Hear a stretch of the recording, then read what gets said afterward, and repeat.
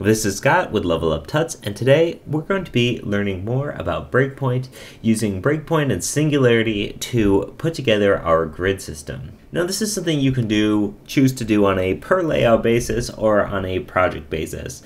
Now, you could, uh, when we create layouts, you could write all of the layout grid CSS in your layout CSS file, or you can write it in here. It really just depends on how much you plan on extending your code, or maybe this is a one-off thing. Basically, like I've said many, many times already, uh, Omega gives you a lot of options to structure your code how you want.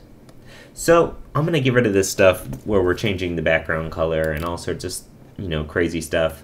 Um, just get back down to our basics.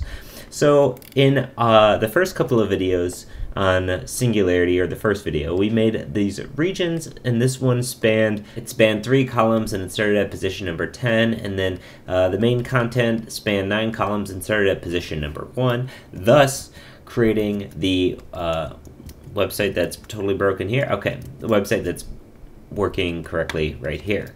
So we have this and this. This is our, our nine columns, and this is our, our uh, three columns. Now it's important to state that if we were to assign something inside of this section here to a column, it's going to be uh, sort of restarting, right? So let's come back here and inside of our region content, I want to put uh, the field name body and in here I want to assign this to, let's say if you were thinking I want this to take up half the space, right? Or maybe let's say taking up a little bit more than half the space. So we would say, all right, it's going to be 5 and it's starting at the first space. So you might think if you're using other grid systems that there is a universal grid, right? Well, this is not sort of the case. This sort of starts over, essentially. This grid span is according to the width of its parent. And you saw that in here where the the uh, sidebar and the main content area are determining its grid size by the width of its parent. Likewise, even though we said this to be five uh, columns wide, it's not five of the total columns, which would put it somewhere around here. It's actually 5 of 12 columns inside of this content area. So that's just one thing to be thinking about when you're adding your things to your grid. Um, in this case, if we wanted to take up half of the space or more than half of the space, let's say if we wanted to take up half the space, we would use 6. 6 is half of 12 and come back and now it's taking up half the space. Of course, if we wanted to say almost uh, almost all of the space. We could say 10, and now it's almost all of the space here. Of course, I'm not going to do that here, but I'm just wanted to give that a heads up if you were using Singularity and notice that. Now, I want to talk about building a responsive grid.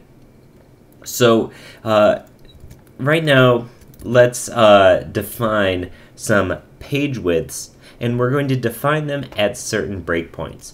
So if you recall, our page width on mobile should be nothing, right? It should be just fitting to the width of the parent.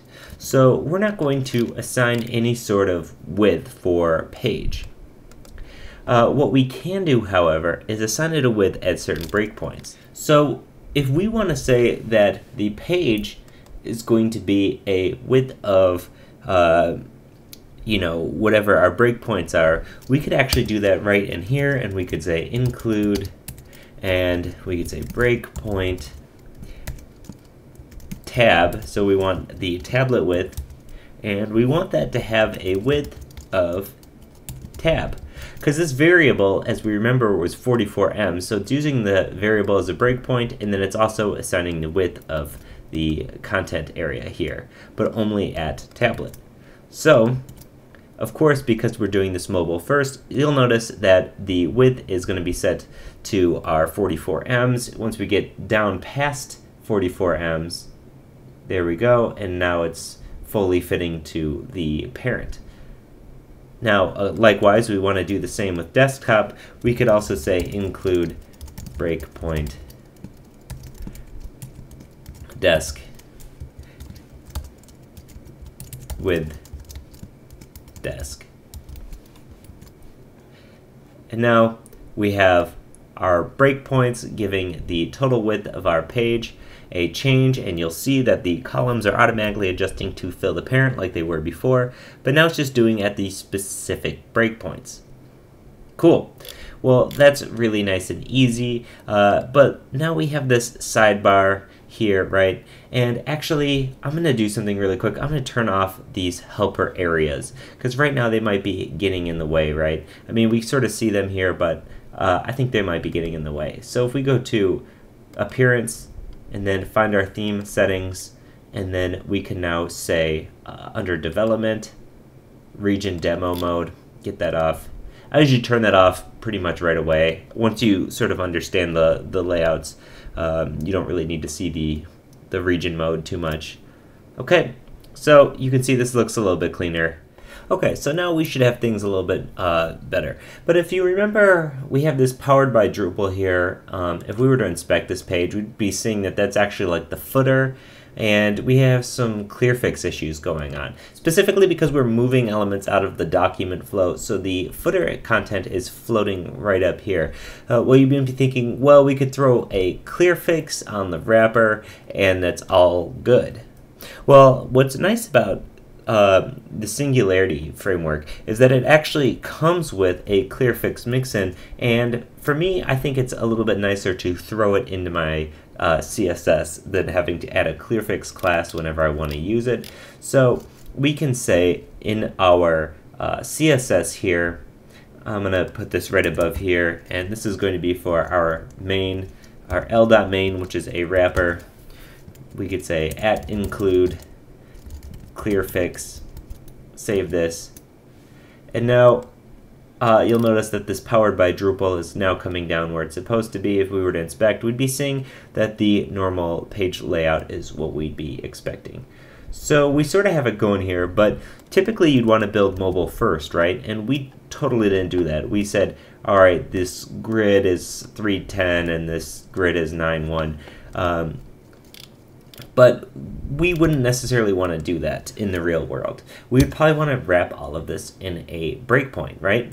So we could say at tablet is when we want to start showing uh, this column like that. So just in one line of code here, I'm wrapping this in at breakpoint.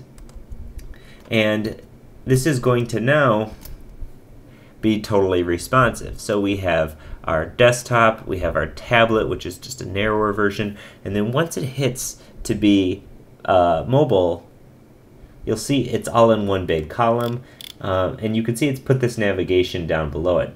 Now, you might be wondering, well, how do I get this navigation, and the search, above here? Well, that's going to be getting into modifying our template files, right? So right now in our template files, it's being output that the main content area is above the sidebar. But as you can see in no time here, we've gone from having just a grid site to a grid that not only responds, but uh, completely changes. Now, you can even do more crazy things, right? What happens if you wanted to completely change the grid uh, at a different breakpoint? Well, you could do that. So if we said, all right, now at desktop, we want the region sidebar to, again, we want it to be uh, starting at the first position, and we want this one to be starting at the fourth position. And now let's come back to the page. And so now this is going to be getting crazy. Oh, and I forgot I need to make this a desk, not desktop. All right. Now you'll notice that they've completely changed sizes, sides. And we could say, all right, there we go. And so you can see this grid is totally flexible. At our desktop, we can really do whatever we want, and we don't have to worry about changing the HTML to change the grid and change our content on the grid. This makes this more flexible than most grid frameworks I've ever worked with. Cool. Well, in the next video, I'm going to show you NoQuery, and we're going to get that set up so that we can have our NoQuery CSS working exactly like how we want it to support older browsers. So as always, this is Scott with Level Up Tuts. If you have any questions or comments, leave a comment in the video or hit us up at Twitter Level Up Tuts. Of course, we're going to be going way more over this once we start building out layouts, right? Because our layouts are going to be sort of like defined layouts that we can move from site to site. So uh, keep watching, lots more videos on the way, but this is a responsive site with breakpoints and singularity. So as always, this is Scott with Level Up Tuts, and thanks for watching. Bye.